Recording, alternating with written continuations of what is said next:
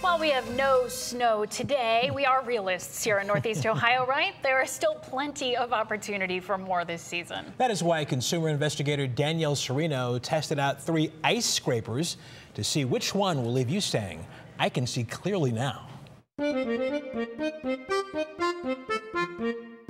Car owners will try just about anything to scrape away the snow and ice. Yeah, he's using a high heel shoe. And sometimes the results are snow joke. A better bet is one of these. You keep sending the snow towards me. Sorry. Before one of our recent storms, we armed ourselves with some inexpensive Amazon's Choice options.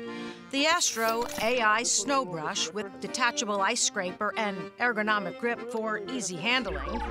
The Snow Joe 2-in-1 Snow Broom, which comes with an 18-inch wide foam head to let you push off heavy wet snow and the Mallory telescoping, pivoting, dual head with squeegee and ice scraper, designed to cut through thick ice. Oh, Look at that. Desmond Raspberry is from Leikin Mercedes in Willoughby, where every time it snows, he's got to clean off a lot of cars. You hear the uh, report on the weather on Channel 3, of course. Yes, of And you think to yourself, what? Oh my God, I have to go to work and clean off all of these cars. 30 to 40 in a day. By chance, one scraper we brought him to test, the Snow Joe, is actually what they use at the dealership. I really like this one because it does have some length on it, and I don't have to move all the way around the vehicle. I can just simply just push it across. He also says the plastic head is safer for the glass, and while scraping, Holding the foam gives you a little extra grip, a little extra power. next was the Mallory. I like the rubber tip on the back of it. Um, when the ice melts on the windshield, it, it really catches it a lot better. But even though the handle extends, he still felt it was too short.